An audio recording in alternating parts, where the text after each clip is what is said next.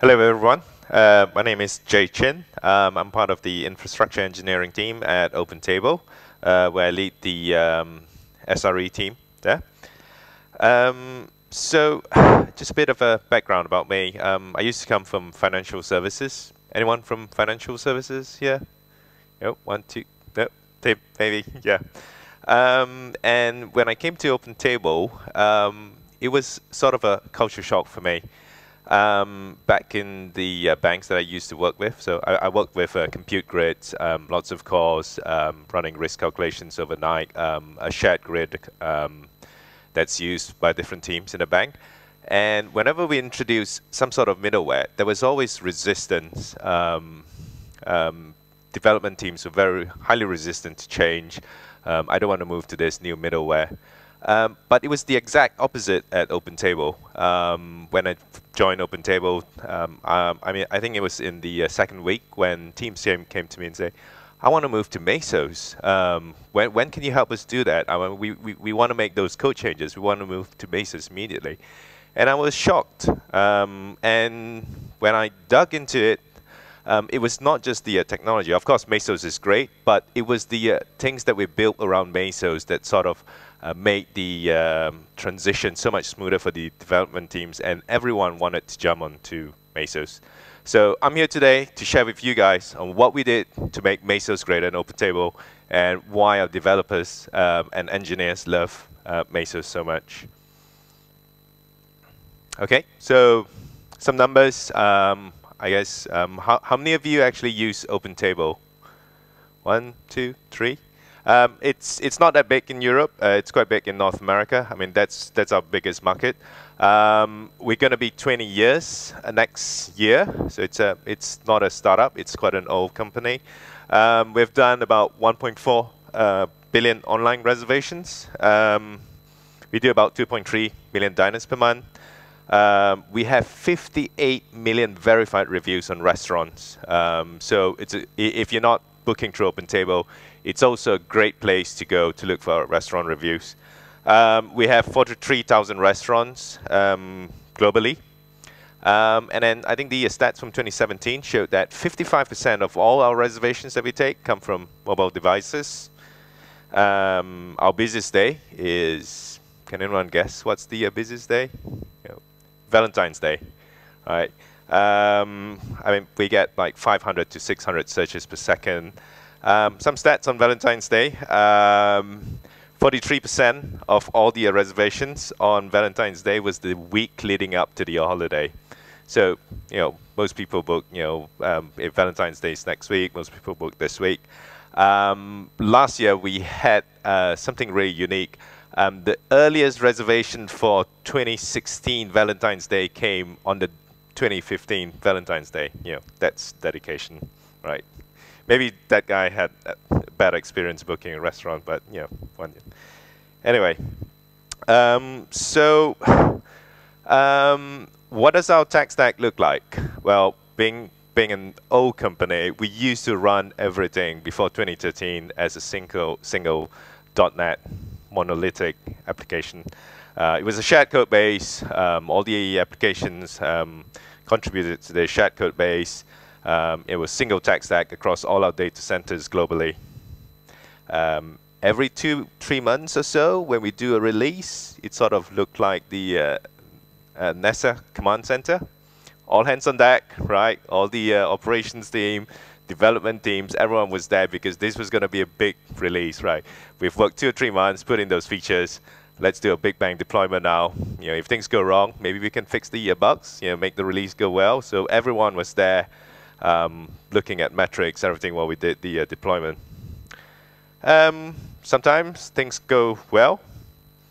Uh, sometimes uh, didn't go that well, right? So developer could be working on a feature for two or three months, and then if something went wrong, which was no fault of his own, right? Someone introduced a bug, his features had to be rolled back, and that's probably him there, right? Um, so um, what we did to solve this problem was around 2013, um, we moved to SOA, right? So we split up the uh, big monolith into individual services. Um, so as you can see, we have this big website. Um, although it looks like a single website, there's um, there's different features of the sites there. For example, search, reviews, emails. All this was split into different services, um, and it was great because we told the developers now split yourself into teams, use whatever technology you like, um, do whatever you want. Um, feel free, go wow, right? Um, and developers just went out there, um, you know, sort of looked at bleeding edge technology. So we have .NET, we have um, uh, Node.js, we even had Clojure. Um, we had everything there because they were microservices. It was fine, right? They sort of didn't depend on a single shared code base. Um, and then with this came independent release of features and services um, from a two-month release cycle. Uh, now we had thousands of deployments to production a week. Um, so um, product features could come out really, really fast. Um, there was good iteration there. Um, and the product teams were really happy with what we did because now you know they, they could um, instead of a two-month release cycle for product features, it sort of, sort of um, shortened it down to one or two weeks, so which was great. Um, and how did we host those services was through virtualization. So you can think of each of those services um, running on its own host as a single virtual machine. Um, so you can see there, data center, you know, all those VMs running in those data centers and it was okay. Um, uh, the developers had to write a bit of Puppet code to get those virtual machines up and running. Um, um, and then, when it came to scaling, all we needed to do was just to clone the uh, VMs. Simple, right? Uh, but by the end of 2013, I think we had around 1,200 VMs running around on all our data centers. So loads of virtual machines. Um, the infrastructure teams, uh, which is the team that I'm with, infrastructure engineering though, had a different viewpoint on what was happening. So that that's us, day in the life of us. This is what we were doing, herding cats all day. It's because everyone was um, doing things on their own. Uh, there was no standardization. Everyone had their own logging. Some people had their own metrics. Some people even wrote Puppet code to create their own logging cluster, for example, their own metrics collection cluster. Uh, we spend most of our day actually just reviewing um, Puppet infrastructure code. How many of you have done Puppet here? Do you like it? Raise your hand to anyone who likes writing Puppet code, right? So it's even worse for developers, right? Because I think switching from actually developing um, in your app to actually doing Puppet code is sort of like context switching. And um, we had Puppet Code to do everything. So not just bringing up virtual machines, but also monitoring, metrics, everything, everything was done through Puppet. Um, infrastructure as code, right? Um, so infrastructure engineering felt, you know, we were sort of to blame for, you know, introducing this. Um, this is what the whole um, development lifecycle looked like uh, from a developer's point of view. So there were four stages there local build, provision, metrics monitoring. In the local build, developers wrote code. Um, then they had to write infrastructure code to actually um, test it in the, their local environment. So every all the developers actually pulled out the central Puppet repository and then wrote infrastructure Puppet code to actually bring up uh, a virtual machine instance that would run their code. So uh, things like dependencies and you know um, extra services like running cron jobs, for example, everything had to be written by the uh, developers to to get this done. Um, once they have tested this on a local Vagrant build, so we use Vagrant, um, they would actually raise a review to the infrastructure teams to actually push push this out into production. So infrastructure teams, they daily reviewing all those um, infrastructure code. Um, once once it goes into production, um, it's only then that you can actually provision those VMs out into our data centers. Um, I think our Puppet code code base grew up to about one gigabyte of source code. That's how big it became, right? Because everyone was doing something different. And um, same with the uh, metrics part, right? Um, it was also Puppet code. Um, everything was controlled through Puppet. Uh, monitoring was the same, um, but the good thing is everything's viewable as code, right? Infrastructure is code, everything's there. Um, so you, our developers, this this is how they felt about Puppet. Um, so something had to change. Um, around 2014, um, we started to look at Mesos. Um, and we explored the uh, possibility of, instead of using VMs, we could actually run them as uh, Mesos services. Well, that solved a few problems. So it, instead of uh, writing Puppet code to deploy um, um, virtual machines on your own environment into our data centers, now this is how the uh, development lifecycle looked like after we had Mesos. So look at the uh, purple boxes. It's blue here. Purple boxes up there. Um, now all they need to do is after the write code, um, local Docker testing, push it to a Docker repo, and then all they needed to do was push these Docker images into um, the various Mesos clusters. So we have um, a few Mesos clusters, some running in the cloud, some running on-premise. Um, they're globally. Um, so there's, we have data centers in London, we have data centers in um, the United States. Um, so each service had to deploy to one of those data centers. Um, the metrics part of things will still remain the same. They still had to write Puppet code. Uh, monitoring was the same. Um, now, looking at this, the infrastructure team thought, um, okay, um, let's see what we can do with metrics. Perhaps we could standardize the way metrics are collected since everyone is in, on Mesos now um, all the metrics, we could get most of the uh, metrics to the APIs, for example, Mesos APIs, the uh, Singularity APIs. So we use Singularity as the uh, scheduler. And we design a metrics pipeline. Um, so we wrote something called Mesostats. It's open source, uh, URLs here. Um, that collected stats from Mesos. It goes into Singularity, it goes into Mesos, um, collects those metrics, uh, pumps them into a Kafka queue, um, and then it goes into a Graphite cluster. Um, anyone use Graphite out there? Yep, lots of Graphite users. I love Graphite. Um, the amount of metrics we pumped in was so much that we had to change the default Carbon relay. As you can see there, it's a Carbon-C relay. Do you guys use Carbon-C relay?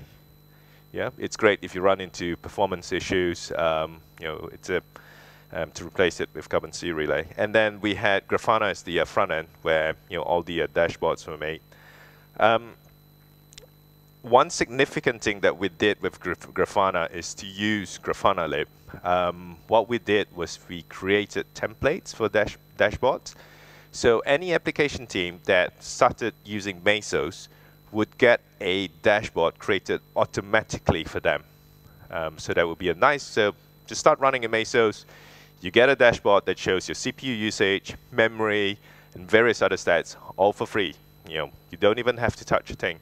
Um, the other nice thing that we did with the Grafana dashboards is not just put graphs, but to actually put text. So you can't see the uh, text there, but it does explain what those graphs mean. So if something is created automatically for you, uh, most of the time you don't realize or don't even know what it is. So we had to have text in there because all this was templatized.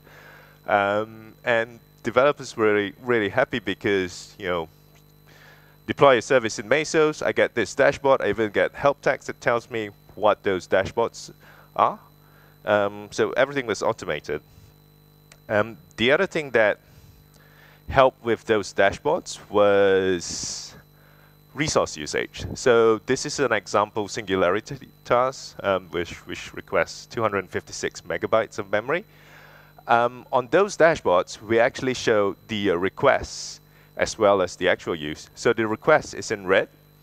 The actual use is in yellow down there. So you can see memory has been over-provisioned for this box. Right, and the orange graph there is a recommendation from the infrastructure teams. This is probably what you should change it to, right?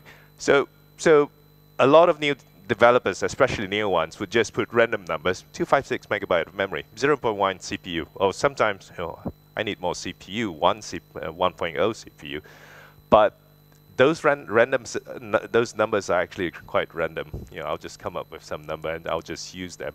But they actually involve wastage on our resources. So having this sort of graphs actually does a bit of governance on you know the actual resource that are being used. Um, and our finance team really liked it because it saved quite a lot of money.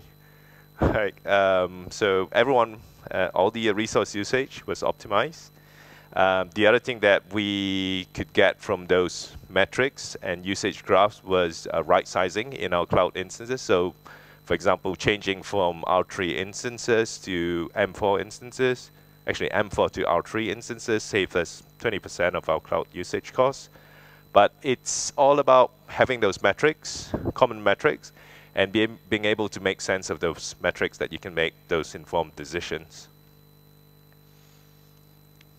Now, after those, after the uh, automated dashboards, this was what the development lifecycle looked like. Um, so we've automated the uh, top part.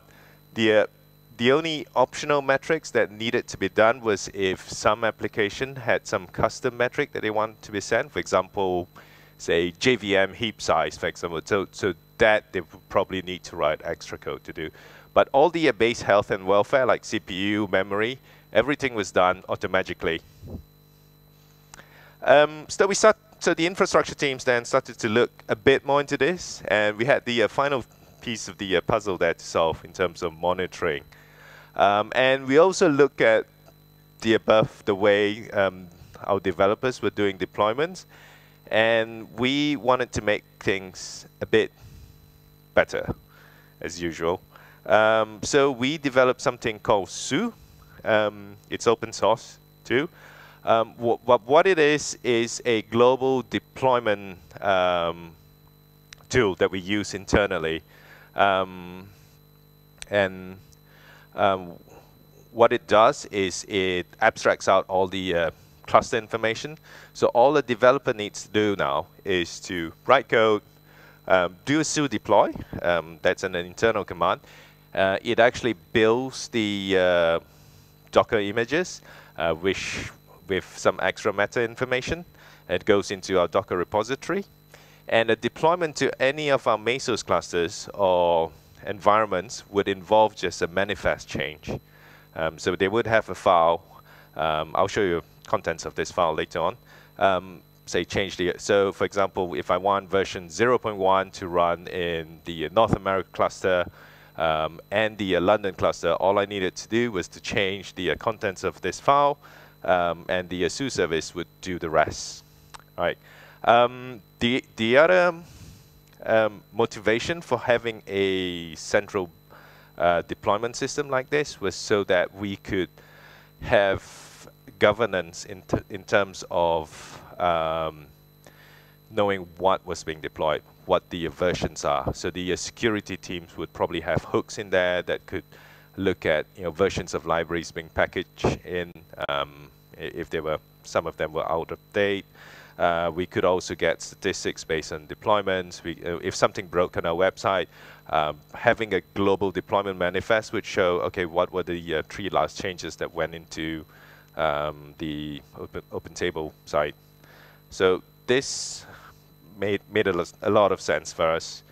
Um, now this is what a global deployment file looks like. Um, so there you can see in the uh, top line, it's just the service name, emails of people of the uh, services, uh, similar to the uh, VAM um, deployment um, file. Um, and there we would have uh, different clusters, um, instance types, memory um, thresholds that we need to have. But the other thing that we added in there is the ability to add monitoring as well. So with this single file, you get to define versions of your um, code that you want in the environment. You, you specify number of instances that you want. You specify the types of monitoring that you want. Everything was automated then. And then we get to this. So with Sous, with all those automated monitoring, uh, metrics collection, this is where we got to. Um, so with all this effort that we put in to make everything easy for developers, um, the pickup of using Mesos was really high. Everyone wanted to move to Mesos because of this, because um, previously they were writing lots of Puppet code to do all the uh, plumbing, but by moving to Mesos, all they needed to do was have code and a central um, single deployment file. Um, so that was one of the main um, high points of um, our Mesos deployment. Um, the last thing that uh, I want to talk about is uh, logging and how we do logging. Um, so one problem we had with uh, microservices was everyone was logging on their own. Uh, different teams had different standards. Um, there was no consistency. For example, restaurant underscore ID um, is actually logged by one team, and then in the next team it's called RID. Another team is called REST ID. So it can be, you know, the same field can be named differently. Um, the other example as well is uh, for field types is um, if you're logging duration, for example, how long an, a request took. Um, th the name of the field could be the same. It could be duration, but one team could be using milliseconds. The other team could be using seconds. So there needed to be a way to standardize all of this if we were going to make full use of the uh, logging data and make sense of it. Um, so what we did was create a global unified data model for logging. Um, we also built a central logging system based on Logstash, Kibana, um, uh, Kafka. Um, anyone who wanted to use the central logging system would need first to define a logging schema. And this was how, and that logging schema uh, needed to be reviewed um, before it got accepted. Um, but what that does it is it allows us to ensure the uniqueness of the fields. Um, it allows us to ensure that all the fields um, match one another. And from there, we get to build um, really cool stuff because then we had um, fields that match. We could we could see a request ID from one service going on to the next service, all those match.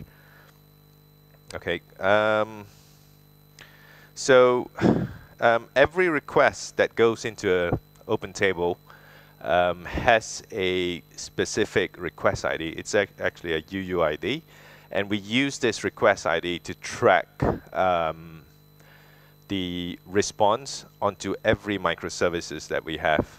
So we built this tool called Timeline. It actually sh shows the uh, request going on to different microservices. Again, it's open source. You know, feel free to go out and have a look if you want. Um, and a request that comes into the Open Table website, uh, we can look at it in terms of timeline. So here you can see those green bars are when you know things actually hit the service on the uh, left. So I'll do a quick demo of this, um, after, you know, after the talk. Um, but what that allows us is to identify bottlenecks in services. For example, if you look at the graph here, you can see a bit of white space on the left. Um, you know, why, why does that service start only after 70 milliseconds? And then you can see those two long bars there, you know, those are probably uh, candidates for optimization. So having um, tools like this allows teams to actually go in and look at dependencies between services as well as how to optimize services.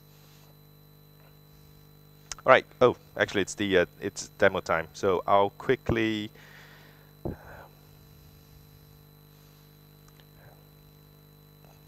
Let's go.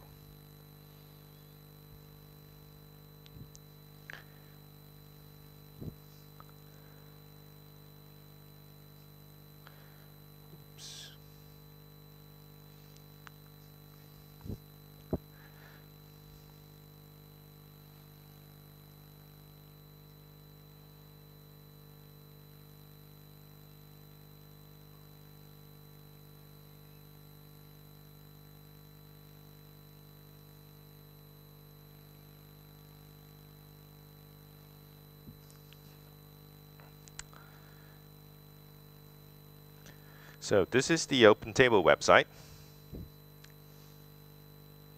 Okay, I'm going to share something with you. You can actually tell everyone that it runs of Mesos because if you scroll down to our website, bottommost, it's a trick. You highlight the invisible down there. you can actually see Mesos there. It runs on Mesos slave 32 slash dash prod, right? And in this request down here, we have the um, version names, the uh, bills, um, but the important thing I want to show you guys is the uh, request ID. So anything that comes into our Open Table website, we have a unique ID down there. So I'm going to take the uh, request ID from down here, and I'm going to paste this in our timeline tool.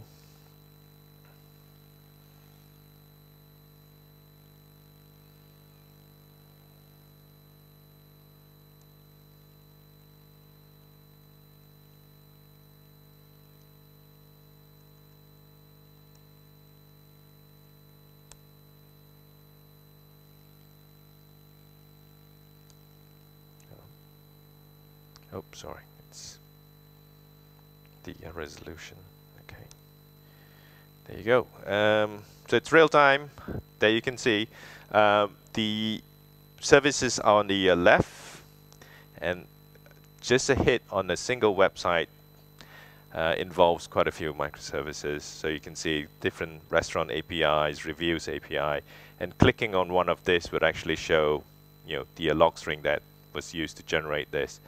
Um, so using this tool, uh, teams can actually um, see what the uh, bottleneck is if the uh, website is slow. Um, it even, if you scroll down to this, it even has lo logs. Um, you can find logs right, by clicking on this. So if I go up here, right, based on this, we know where the uh, log files are. Um, we know which Mesos host it ran on um, various things like this. So, so having a global schema for logging allows us to build like, fancy tools like this. Um,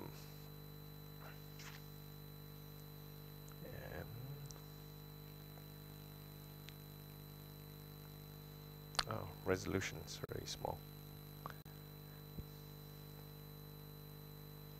Sorry about the uh, resolution. I mean, this site actually shows um, open table reservations on um, happening in real time, but as you can see, um, resolution is a bit small, but um, it's it's a global map that shows all the uh, reservations. Even now, you can see uh, multiple reservations coming in from North America and different countries. Yeah. All right.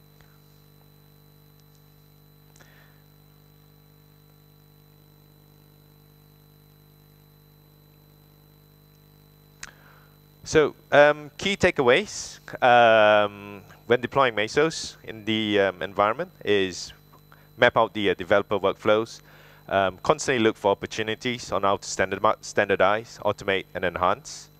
Uh, make metrics and monitoring part and parcel of the uh, Mesos service. That's how you get you know um, quick adoption of Mesos. at least for us, that works quite well. Um, the engineers don't always make the best choice out of resource usage. Um, help them make an, an informed choice with uh, metrics and monitoring and the uh, tools that you can build. And having a common deployment pipeline um, allows us to build various tools that could hook in and standardize those microservices in terms of security, standardization. Um, also, finally, a global um, data model for logging um, allows us to make um, consistent um, analysis because the, the, the, fields are consistent and allows us to build tools on top of it that you know makes analysis and troubleshooting much much easier. Um, so that's the end of my talk. Uh, I'm going to leave a bit more time for Q&A um, if you guys want.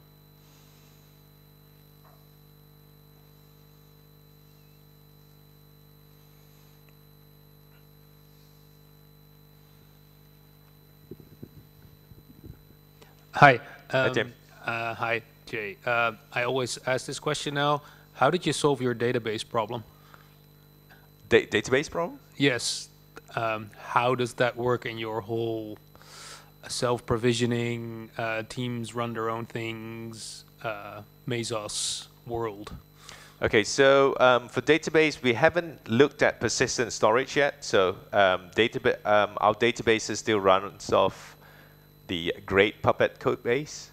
Um, but we're looking into persistent storage in the coming future. For example, um, one candidate is our Redis um, instances that we have. So we, we're looking into that first.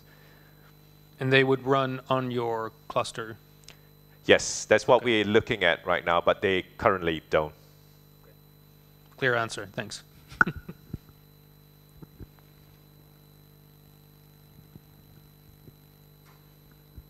Hey, um, thanks for the talk. Um, how have you found Singularity? Can you maybe tell us a bit about how you've used it? Um, like any war stories or, um, yeah. Yep, just sure. Um, so, the, I mean, you, the use of Singularity goes back a long way. I mean, it's back in 2014. So at that time, we evaluated quite a few frameworks. Um, and Singularity, Singularity um, did seem the easiest of all the uh, frameworks. Plus, um, the developers at HubSpot who developed Singularity were um, very close to um, our core uh, platform uh, team. Uh, they, they, were the guys that uh, brought in Singularity.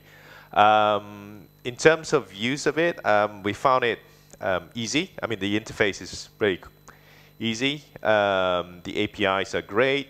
Um, and it's working out for us. Um, so we, we have no, we, we of course, we, we're evaluating marathon and things like that, but as of today, we haven't found a need to change from Singularity to something else.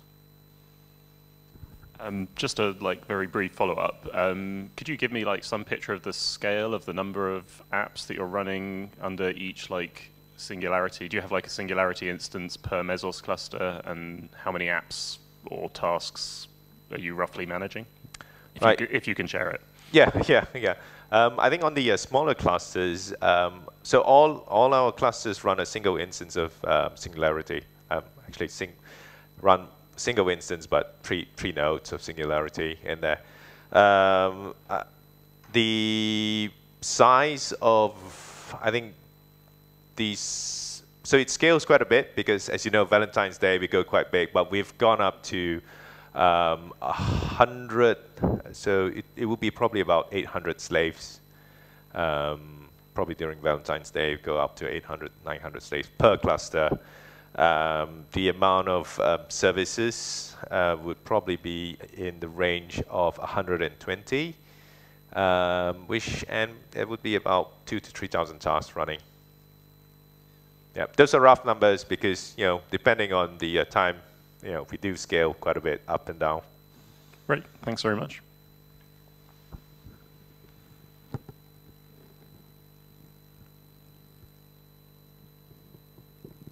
All right, thank you. Thank you.